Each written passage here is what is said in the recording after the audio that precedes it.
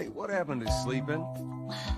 Okay, I know it doesn't look like it, but this here is not a bad read. Only one problem. Right there. To be continued. I see Light on the reading, but it's got some interesting photos. Now, Ellie, that ain't for kids. Whoa! How how the hell would he even walk around with that thing? Get rid of Well, that. hold your horses. I want to see what all the fuss is about. Oh. Why are these all stuck together?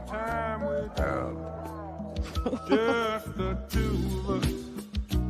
We can make it if we try. Just the two of us. Just the two of us. Building castles in the sky. Just the two of us. You and I.